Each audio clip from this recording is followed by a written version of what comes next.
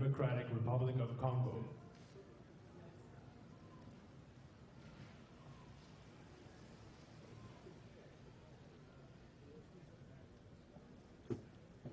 His Excellency Joseph Kabila Kabange, President of the Democratic Republic of the Congo.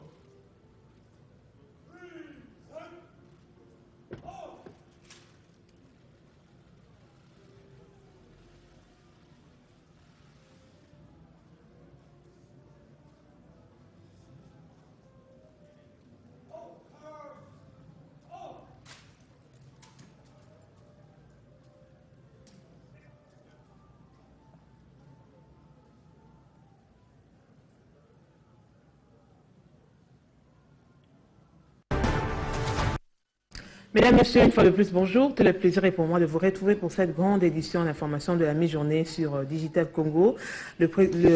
Arrivé depuis hier à Bukavu, dans le sud Kivu, le chef de l'État, Joseph Kabila Kabangé, a tenu, euh, a une réunion de sécurité, rien n'y infiltré. Et à son arrivée, à sa descente d'avion, donc, Joseph Kabila a été accueilli à l'aéroport de Kavumu par une foule des habitants ainsi que par les autorités politico-administratives. Plus de détails avec Ernest Moero depuis Bukavu. C'est une foule constituée des cadres et militants des partis politiques de la majorité présidentielle, des mandataires publics, de femmes et jeunes universitaires qui sont venus accueillir le président de la République à l'aéroport de Kavumu. À 13h20, l'avion atterrit à Kavumu et le président Joseph Kabila Kabangi est aussitôt accueilli en premier par le gouverneur Marcelin Tchishambo avant de saluer l'honorabilité de la province représentée sur les tarmacs. Des chaudes poignées de mains sont échangées dans une communion entre le chef de l'État et les militants des partis qui soutiennent le Raïs. Aussitôt, c'est le départ en véhicule pour le chef de la province du Sud Kivu, la ville de Bukavu. À la place de l'indépendance, tout comme dans d'autres lieux le long du parcours, d'autres militants, drapeaux en main, ont fait les déplacements pour témoigner leur attachement au chef de l'État. L'objet de la mission du président de la République n'a pas été révélé à la presse, mais selon des sources proches du protocole d'État, le chef de l'État séjourne à Bukavu dans le cadre d'une mission de travail à la résidence du gouverneur du Sud Kivu, le président Joseph Kabila Kabangé a personnellement présidé le Conseil provincial de sécurité élargi aux ministres provinciaux. Une occasion pour les raïs de prendre le pôle sécuritaire de la province, mais rien n'a filtré de ces échanges. Aussitôt après, dans une ambiance de convivialité, les raïs s'est entretenu brièvement avec le député provincial, occasion aussi de marquer son passage par quelques photos souvenirs. Et lors de son séjour au Nord Kivu, le chef de l'État inauguré la mairie de Boutembo, première construite par les fils et filles de ces coins de la province du Nord un motif de satisfaction pour aussi bien la population que les autorités politico-administratives. Plus de détails avec les Indes.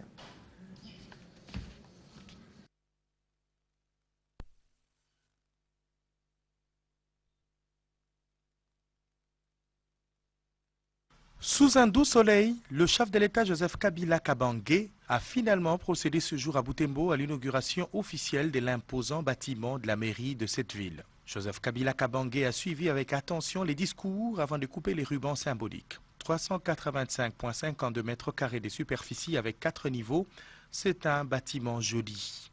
Le maire a, au nom de la population de cette ville prospère, dit merci pour ce geste qui tourne la page sombre du passé. Votre présence, Excellence, Monsieur le Président, est pour nous un signal fort qu'après la pluie vient le beau temps.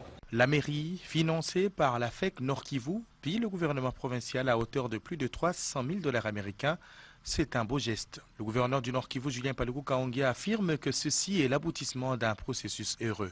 Si nos grands-parents, en 1925, ont contribué dans leurs conditions de coloniser à la création des centres administratifs et des cités indigènes, qui seront en 1956 soumis au régime de l'urbanisation, si nos parents, en 1958, ont milité pour que Boutembo soit un centre extra-coutumier et une cité moderne en 1987, si un certain 28 mars 2003, votre autorité a signé le décret portant création d'une ville pour reconnaître et hisser Boutembo en ville.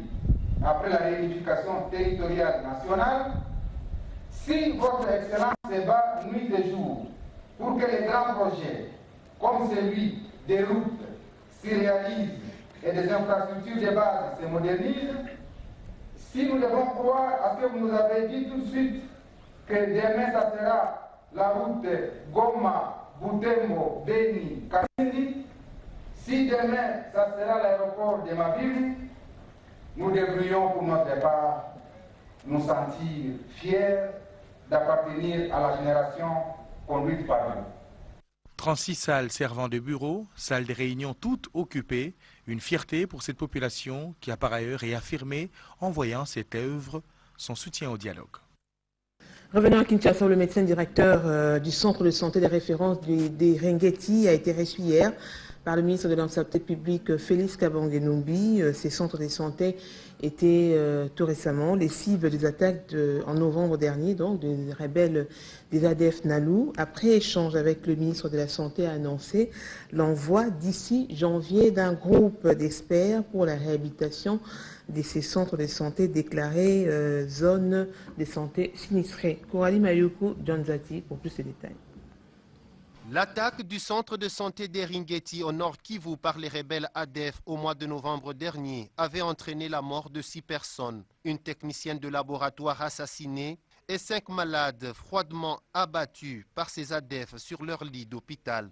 C'est ce bilan que vient porter ce jour le médecin directeur du centre de santé de référence d'Eringeti au ministre de la Santé publique. Félix Kabange Numbi a déclaré la zone de santé d'Oicha zone sinistrée. Le chef de l'État a déjà décidé que le gouvernement prendra en charge les populations sinistrées. Nous voudrons, au nom du gouvernement, présenter nos condoléances à la famille de la laborantine euh,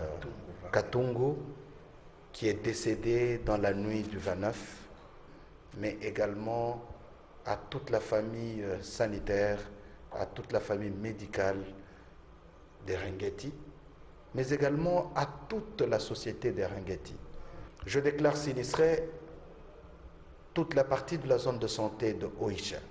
Le ministre de la Santé publique annonce l'envoi dans les tout prochains jours d'un groupe d'experts pour la réhabilitation du centre de santé des Ringeti. Félix Kabangenumbi a invité les Congolais à œuvrer pour la paix. Pour sa part, le médecin directeur du centre de santé des Ringeti, le docteur Jérémy Mohindu, rajoute qu'il y a eu également de lourdes pertes en matériel comme en médicaments. Était également présent à cette rencontre avec le ministre, le président de la société civile sous noyau du groupement de Bambouka, Kisiki, en territoire de Béni.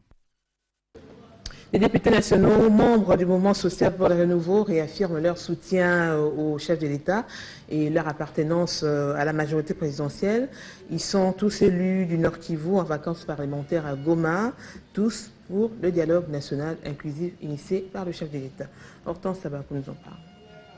Jean Chrysostome Vahamwiti, Juliette Mourolé, Yere Yere, Baliesi Makandukina ainsi que Mwindo Nzangi empêchés sont à Goma. À l'aéroport international de Goma, les cadres et militants du mouvement social pour le renouveau qui sont venus accueillir ces élus du Grand Nord de la province, avec joie, réaffirment tous leur soutien au chef de l'État Joseph Kabila Kabangi, tout en soutenant les prochaines assises du dialogue congolais. Selon l'honorable Eva Mouiti Jean Chrysostome, le mouvement social pour le renouveau reste un parti de la majorité présidentielle. Que plus d'une fois, le chef de l'État Joseph Kabila nous a appelés comme bureau politique du MSR. Et moi, je suis le vice-président national du mouvement social pour le renouveau. Plus d'une fois, il a appelé l'entièreté du bureau politique pour dire ça c'est mon parti. C'est moi qui l'ai créé. Et quiconque est fatigué de ce parti, qu'il s'en aille et qu'il le laisse. Et personne n'a jamais réagi. Moi j'ai toujours été présent. Les personnes qui vous parlent à Goma ou ailleurs n'ont jamais assisté à ces réunions-là. Devons-nous être malhonnêtes vis-à-vis -vis de nos électeurs? Moi, j'ai eu deux mandats sous le chapeau du MSR et 10 ans clairement que je suis un député de la majorité présidentielle.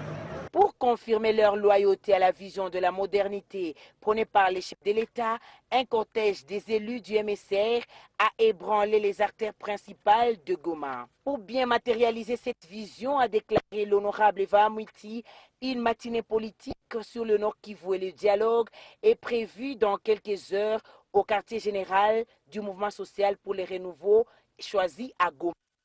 Revenons à Kinshasa où le président de la Commission électorale nationale indépendante, Norbert Nanga, a échangé euh, hier mardi avec euh, les membres de la Commission éducation civique et observation électorale et du ciel. Euh, les entretiens ont tourné autour du processus électoral et sur les différents apports attendus des autres parties prenantes au processus électoral, notamment la société civile. Plus de précisions avec José Lendo et Christelle Chibambevita. Ils sont venus présenter leur civilité, les membres de la thématique éducation civique et observation électorale à Corneille Nanga, président de la Commission nationale électorale indépendante CENI. Au cours de leurs échanges, plusieurs points majeurs liés au processus électoral sont évoqués, notamment les différents défis législatifs des élections qui exigent la révision de certaines lois essentielles telles que la loi portant identification et enrôlement des électeurs et la loi électorale. Car la loi électorale de 2004 ne prévoit pas l'enrôlement et le vote des Congolais de l'étranger. Les perspectives pour l'élaboration d'un calendrier réaménagé et les principaux défis qui guettent les processus électoraux congolais passés en revue, Gérard Bissambou, coordonnateur et porte-parole édition. Mais dans son adresse, le président nous a fait euh, de manière succincte la restitution de l'auto-évaluation que la CENI a eu à faire du processus électoral. Nous notons de, cette auto-évaluation que la CENI s'est posé trois questions. La première question, c'est une question en fait qu'elle s'est posée elle-même et dont les réponses reviennent à elle-même. Ça signifie que c'est des réponses en termes de planification stratégique de la CENI, et des réponses en termes de planification de la logistique de la CENI et c'est aussi des réponses en termes de l'opérationnalité technique du processus électoral. La deuxième question que la CENI s'est posée lors de son auto-évaluation, c'est des questions qui font référence à l'élaboration des lois liées au processus électoral. Et là, la responsabilité revient autant au gouvernement qu'à euh, l'institution parlementaire. Voilà pourquoi les principaux intervenants au processus électoral doivent se prononcer clairement pour lever les différentes options.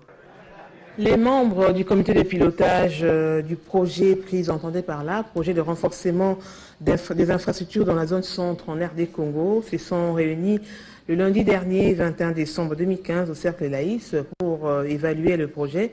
Deux points essentiels étaient à l'ordre du jour, la présentation du rapport d'activité 2015 jugé positif et les prévisions pour l'année 2016. Plus de détails avec Annie Peya et Christelle Chibambi.